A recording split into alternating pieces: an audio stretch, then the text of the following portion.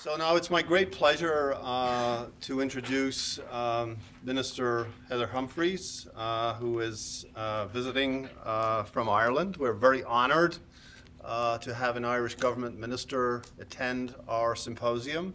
Uh, the subject matter has spanned um, the Atlantic Ocean, and so I would like to invite the, the, minister is the Irish government minister for the arts culture and the Gaeltacht.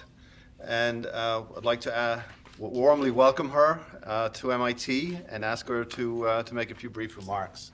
So, Minister, welcome. Thank you for coming. Thank you very much. Thank you very much. You can speak, I believe, into this. That's okay. Okay, well, uh, first of all, uh, um, I just want to uh, say thank you very much for the invitation to be here. And I'm in good company with people from Cork. I'm here with President Murphy from uh, um, uh, UCC and a colleague of mine, uh, Deirdre Clune, who's an MEP. Uh, distinguished guests, ladies and gentlemen, and uh, as I say, it's great to be here.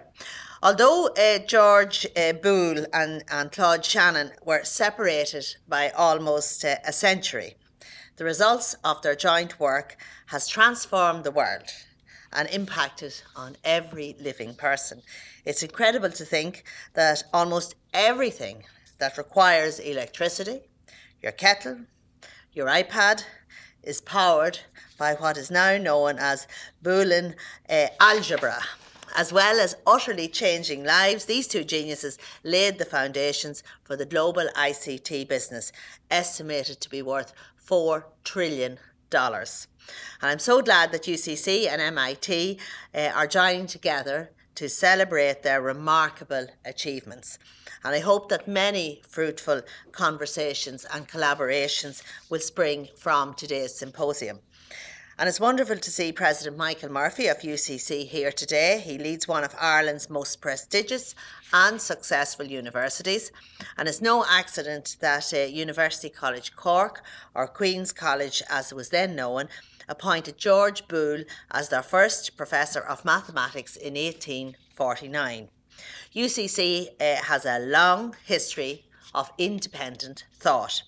The university nurtures a spirit of inquiry and creates an environment where the curiosity of students and researchers can thrive. And indeed, Ireland as a whole is a nation where curious minds live, learn, and discover. And some locally would call it even nosy. Known as the land of famous writers, actors, and musicians, this spirit of creativity and imagination is also reflected strongly in our inventors and scientists. And Ireland has a rich scientific heritage that has helped shape the modern world. Newgrange is the world, or sorry, Newgrange is the world's oldest astronomical observatory, dating back to 3150 BC. County Waterford born Robert Boyle, known as the father of chemistry, is famous for Boyle's Law.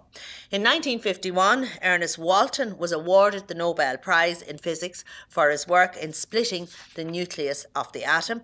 And just last year, Irish scientist uh, William C. Campbell won the Nobel Prize in Medicine.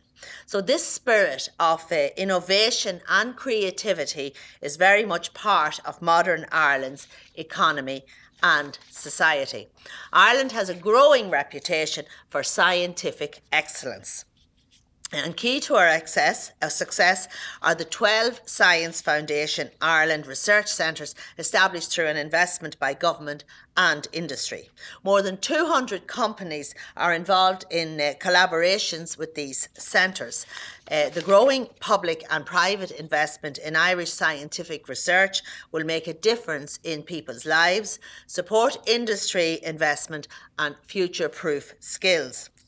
When you consider how dynamic our education and research ecosystems are, it's not surprising that Ireland has developed into a vibrant start-up location.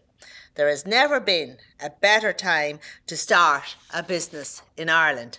And I would encourage all of the MIT innovators and entrepreneurs to look closely at Ireland uh, when you're thinking about establishing a European base. Startup activity is at a record high. Startup companies now account for over two thirds of all new jobs created in Ireland. Our state agency, Enterprise Ireland, is Europe's largest seed investor by number of investments. It is ranked third in the world among venture capital investors in seed funding rounds since 2010. Last year, Enterprise Ireland launched a new competitive start fund to support innovative export orientated businesses being uh, set up and led by female entrepreneurs.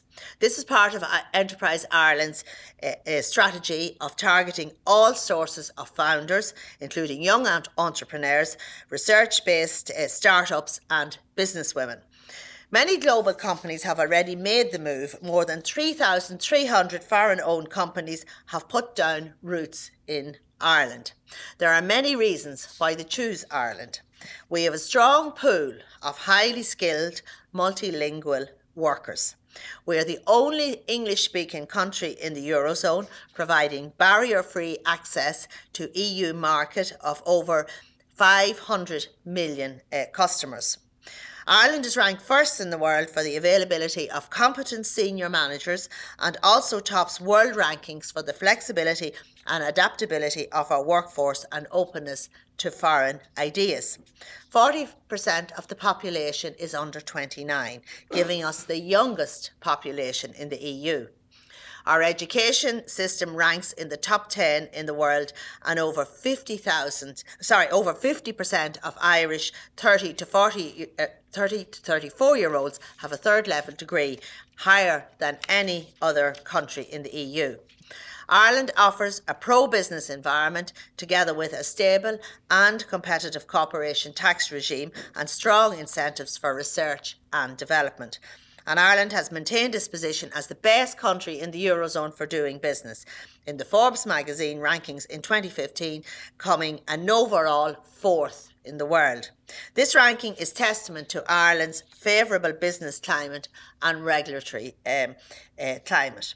So it's not surprising, therefore, that Ireland is home to nine of the top U- 10 US technology companies, all of the top 10 born on the internet companies, nine of the top 10 global pharmaceutical firms, and 15 of the 20 top global medical technology uh, technologies companies. And finally, given that I'm speaking in MIT, allow me also to tell you why Ireland wants to attract the world's top tech talent to our shores. We employ over 80,000 people in ICT in Irish and foreign owned enterprises. Highly skilled tech talent is also needed in many other fast growing sectors such as international financial services and business services.